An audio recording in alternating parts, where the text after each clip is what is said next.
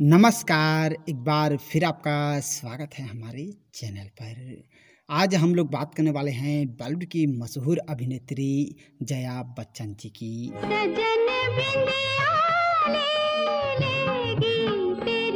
और दोस्तों आज है जया बच्चन जी की जन्मदिन और आज वे तिहत्तर साल की हो गई है।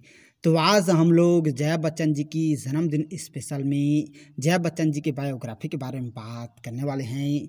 तो चलिए दोस्तों वीडियो स्टार्ट करते हैं। पानी पीनी दूसरों का लफड़ा मेरे गले में पड़ गया। मुझे माफ़ करो साहब मैं किसी को नहीं पहचान फ़िल्म जगत में अपनी सशक्त पहचान बनाने वाली जया बच्चन का जन्म नौ अप्रैल 1948 को जबलपुर में मशहूर लेखक तरुण कुमार भादुड़ी के घर में हुआ था। जया बच्चन जी का वास्तविक नाम जया भादुड़ी था और जया बच्चन ने भोपाल के सेंट जोसेफ कॉन्वेंट स्कूल से अपनी शिक्षा प्राप्त की थी।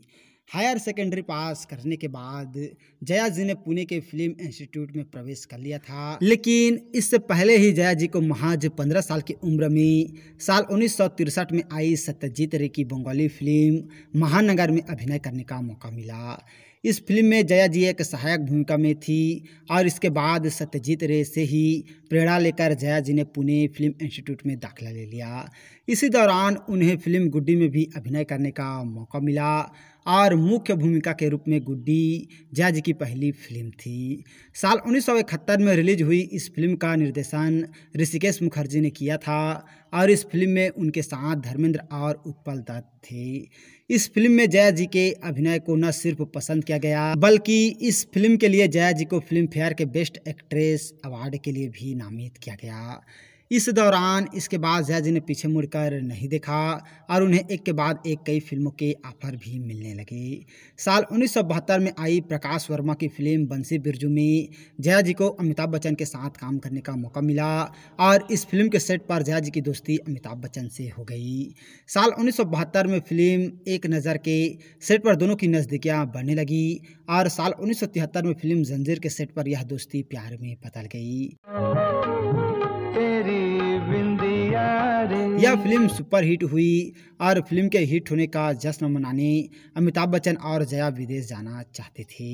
लेकिन जब हरिवंश राय बच्चन को यह पता लगा तो उन्होंने अमिताभ बच्चन साहब से साफ़ शब्दों में कह दिया कि अगर जया जी को विदेश ले जाना चाहते हो तो उससे पहले तुम्हें उससे शादी करनी पड़ेगी। जिसके बाद दोनों परिवारों की मौजूदगी में दोनों ने तीन जून उन्नीस सौ तिहत्तर को शादी कर ली और जया बच्चन और अमिताभ बच्चन के दो बच्चे श्वेता बच्चन और अभिषेक बच्चन हैं। शादी और बच्चे होने के बाद भी जया जी ने अपना फिल्मी सफ़र जारी रखा और सत्तर के दशक में जया बच्चन शीर्ष अभिनेत्रियों में थी।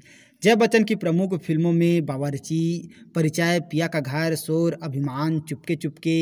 इसके साथ ही दोस्तों और ऐसे बहुत सारी फ़िल्में हैं जिनमें इन्होंने काम किया, जैसे सिलसिला, कभी खुशी का भी गम कल हो ना हो, द्रोड़ा आदि शामिल है। एक तो हमने देखा नहीं और देखा भी होगा तो हमको याद नहीं।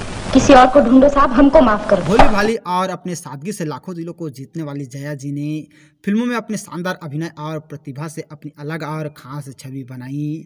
और जया बच्चन जी को अपने पूरे फिल्मी करियर में सर्वश्रेष्ठ अभिनेत्री के लिए तीन बार और तीन बार सर्वश्रेष्ठ सहायक अभिनेत्री के साथ ही Filmfare lifetime achievement award से सम्मानित किया गया। और साल उन्नीस में भारत सरकार ने फ़िल्मों में उनके सराहनीय योगदान के लिए पद्मश्री से सम्मानित किया और फ़िल्मों के अलावा जया जी राजनीति में भी सक्रिय हैं। उन्होंने साल 2004 में राजनीति में कदम रखा और समाजवादी पार्टी में शामिल हो गई। वर्तमान में वह राज्यसभा की सांसद हैं और जया बच्चन जी काफ़ी समय से फ़िल्मों से दूर हैं। लेकिन आज भी उनके चाहने वालों की संख्या लाखों में है। और दोस्तों, आज है जया बच्चन जी की जन्मदिन और आज वे तिहत्तर साल की हो गई है। तो हम लोगों की तरफ़ से जया बच्चन जी को जन्मदिन की बहुत बहुत बधाई और आप जहाँ भी रहें, खुश रहें, आबाद रहें, हम लोगों की यही दुआ है।